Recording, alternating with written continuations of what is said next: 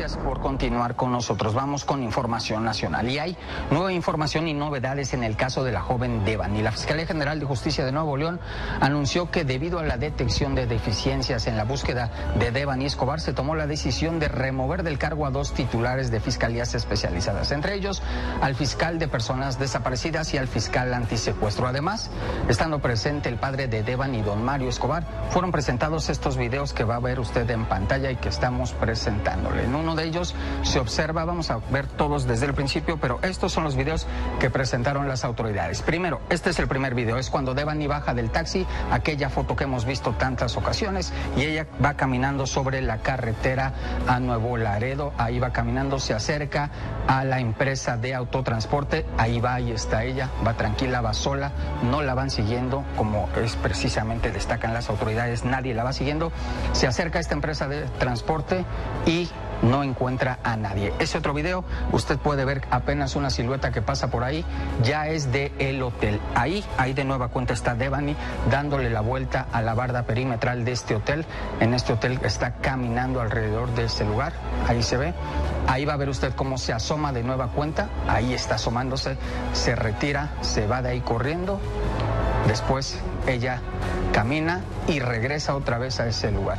Lo que las autoridades destacan de todos estos videos es que ella en todo momento va sola, nadie la va siguiendo y lo que insisten las autoridades es que hasta ahora no han podido confirmar que alguien haya estado detrás de ella, que la, alguien la haya seguido o que alguien haya regresado, en este caso el taxista que la dejó, y se le haya acercado. Hasta ahora todo apunta, según lo que dijeron hoy las autoridades, a que ella misma habría caído sola a la cisterna donde le encontraron y que ahí habría perdido la vida. Y es que escuche, las autoridades hallaron ahí su teléfono celular y su bolsa. Ese teléfono lo están sometiendo a análisis técnicos para recuperar fotografías, llamadas y mensajes. Escuche lo que dice el jefe de peritos sobre la mecánica de lo ocurrido. Ponga atención, por favor, a los detalles que da él y vea incluso la forma en que lo interrumpe el fiscal cuando él está dando a conocer que todo apunta a que ella se cayó sola dentro de la cisterna, que no murió ahogada en la cisterna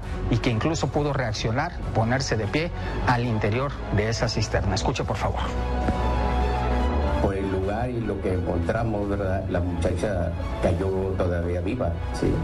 Este, donde se encontró, estaba viva y hubo oportunidad de ella todavía de, reaccionar. ¿Tenía, ¿Tenía agua en los pulmones? No, no, no, no.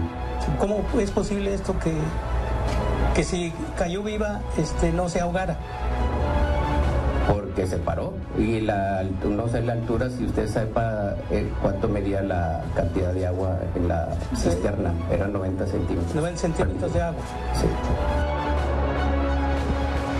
se dio cuenta cómo tuvo que entregar de inmediato el micrófono. Él estaba dando detalles sobre los peritajes que hicieron, es decir, los estudios de exactamente qué pasó ahí. Estaba explicando que Devani no tenía agua en los pulmones, que Devani había caído viva a esa cisterna, que Devani aparentemente tuvo la oportunidad de reaccionar dentro de la cisterna y en ese momento el fiscal lo interrumpió, le quitó el micrófono y después el fiscal dijo que esa era una hipótesis y que estaban viendo. Hasta ahora, hasta ahora todo apunta, según lo que están diciendo ellos mismos, es que Devani, según sus investigaciones, cayó sola a esa cisterna.